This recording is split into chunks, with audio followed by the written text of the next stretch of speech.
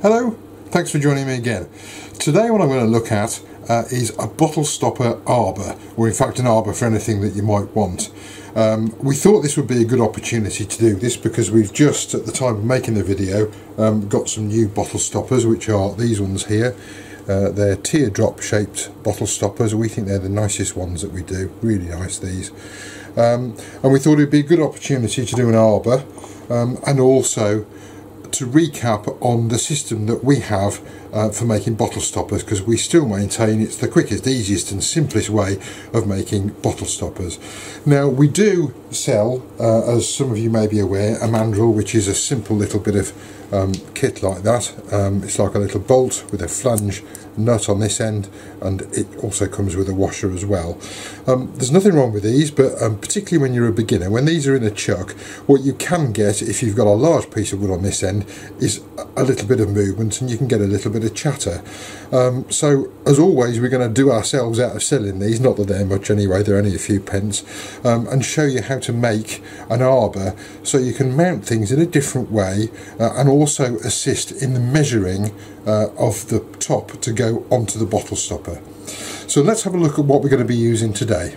I've got my bottle stoppers. I'm going to move these out of the way so the rubbery bits don't get uh, covered in dust. Um, but as with all our bottle stoppers, they come with a wood insert screw, which is when I finally unscrew it, that bit there, and also uh, a threaded piece and ours come with a hex end fitting at the end we don't think anyone else has those um, just to make life easy if you make things with uh, acrylic or corian as an example so I'm going to pop these out of the way and then we'll look at what we've got left here so for today's project I'm going to be using a faceplate. Here's one I've got. You may decide to use um, a, a, chuck or a chuck and a faceplate. You may have various ways um, of mounting um, the block of wood and here I've got a block of wood I'm going to mount this uh, onto the faceplate and this is what I'm going to make my arbor from.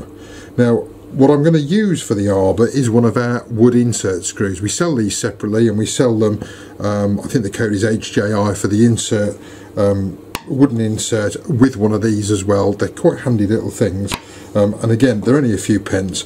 So I'm going to mount the block of wood onto the faceplate with four screws. I'm not going to show you that because to be honest that's pretty simple. So I'm going to go and do that now. I'm going to bring it back to the lathe and show you how we insert the wood screw and get it all level trim down the right size and how we can then mount uh, a bottle stopper um, blank in order to turn it. Um, so the other tools I've got are a screwdriver and screws for mounting the block onto the faceplate. Uh, I've got uh, a countersink. It can be any countersink. That's for countersinking for the wood insert I've got uh, an 11 millimeter drill bit. Some people say um, it should be 11 and a half millimeters. We sell both. Um, it does depend on the type of wood that you have uh, and what condition that wood is in. Uh, we've always used an 11 millimeter. You may prefer 11 and a half. Um, and then I've got an 8 millimeter hex key because that fits in the wood insert screw there when it comes to finishing it um, and of course there's various other fittings on the lathe that we'll see uh, with the head and tail stock as we go along. So I've drilled my pilot holes, I've mounted my uh, oak block in this case uh, on my faceplate and I'm going to pop that directly onto the lathe there get it fairly tight but uh, we'll be fighting against this. I'm now just going to turn this round just to knock off these edges because they're going to hurt if I do catch my fingers on them uh, and we're then going to trim down a small section at this end to the correct diameter for the bottle stopper that we're going to make.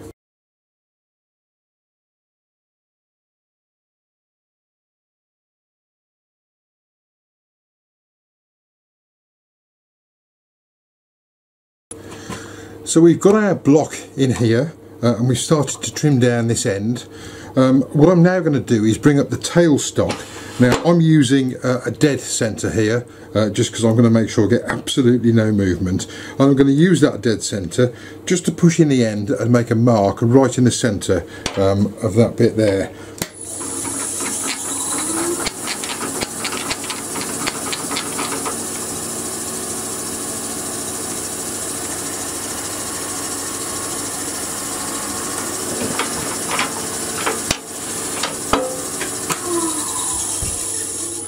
I've got my Jacobs chuck in this end and my 11mm drill here. I've got the drill bit as far down into the chuck as I can get it because the shorter this bit is the better because the less movement we're likely to get and we're going to get it as central as we can in this piece to make the arbor. So we'll now turn the speed down fairly slow and just drill into this bit here.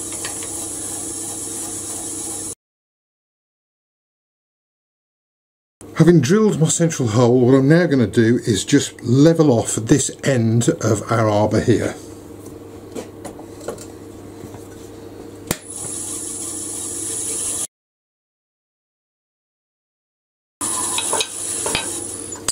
We need this to be flat so when we screw on our bottle stopper blank it fits nicely and level on there. If it's not flat it's going to sit at an angle and you'll still be able to turn it but when you put it on the bottle stopper the stopper and the top will be just at slight angles.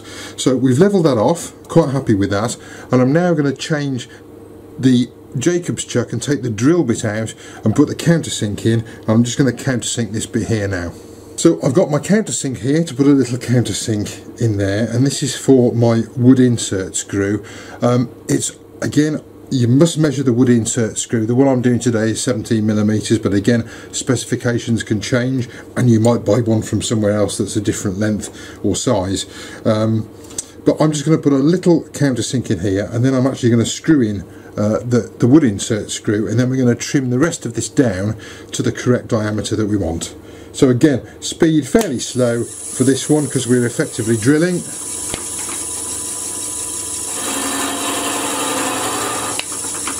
We'll just have a look at that, it's plenty deep enough, it's literally just a couple of millimetres in there. And we can now get um, a wood insert screw and pop it in this bit here. I've been over to the workbench, there's my wood insert screw and my 8mm hex key. And I'm going to get that and I'm going to put it in as centrally as I can. It should pull fairly central anyway. Um, just going to screw that all the way in until it's completely flush.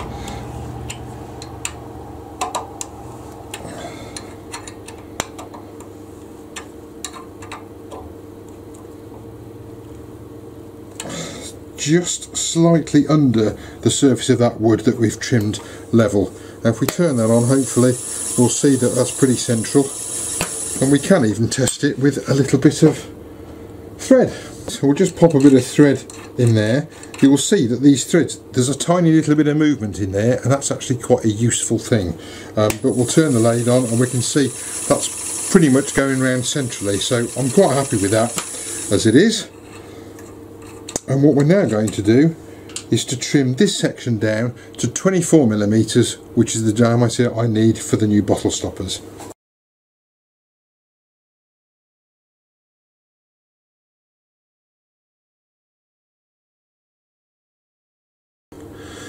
Now one of the ways that I can check that this bit is the right size is by actually getting the bottle stopper.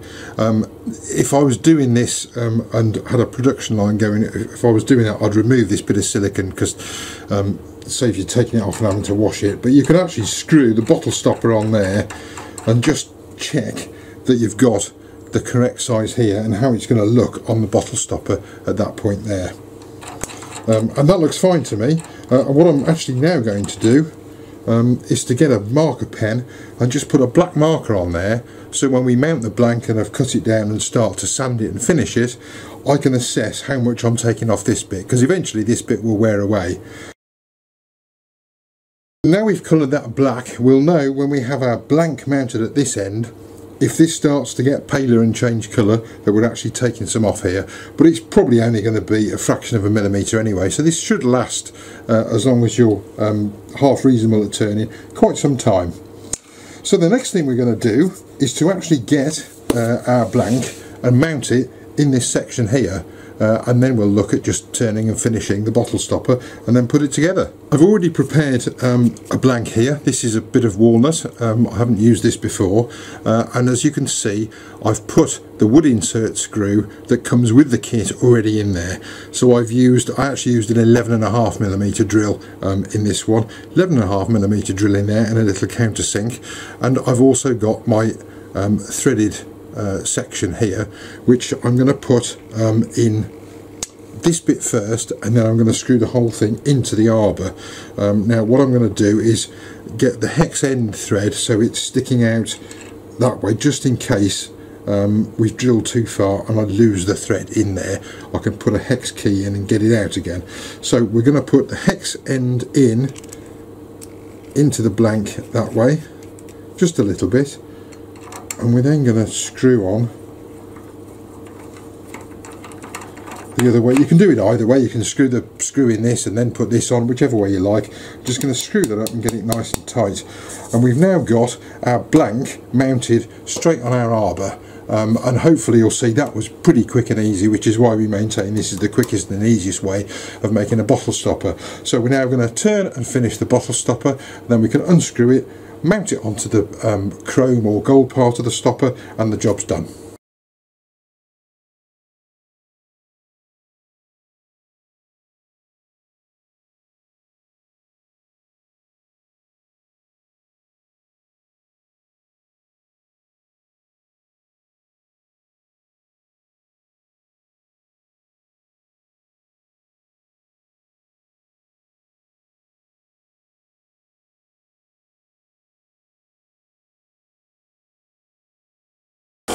Now I'm hoping you can see um, I've started shaping this and there's a little bit of um, not very good bit of wood up here so I'm just going to trim this off but you'll see when I'm working up this end that there's really no chatter when the blank is mounted on the arbor here.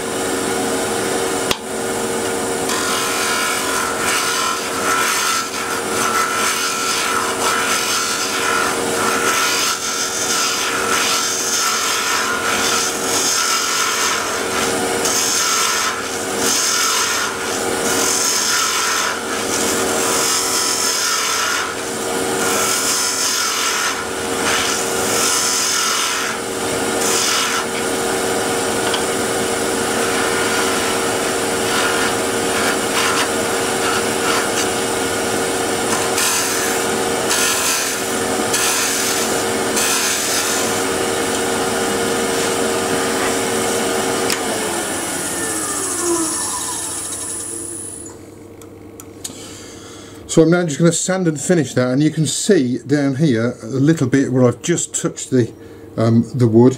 Hasn't really taken any off but it has taken off the black ink. So I, I could I'll probably remark that when the um, stopper comes off. Um, but I'm just going to literally sand and finish this now and then we'll put the bottle stopper together. Right, I'm not going to finish this completely because I'm going to have a play with some different finishes uh, in a minute. But what I'm going to do, we're going to take this off here and I thought that the walnut would probably go quite nicely with the gold bottle stopper. So I am going to unscrew um, that. Actually, the whole arbor's come off the, uh, the lathe. There we go. We'll unscrew that.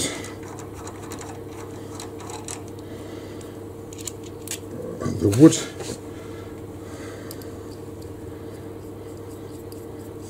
we'll just pop the thread in there and then we'll fit the not quite finished and turned top on the stopper there and you can see hopefully if I hold that up to the camera we've got a pretty good fit at the right diameter down this end into the bottle stopper and when that's all polished up hopefully that will be um, quite an impressive and nice looking kit.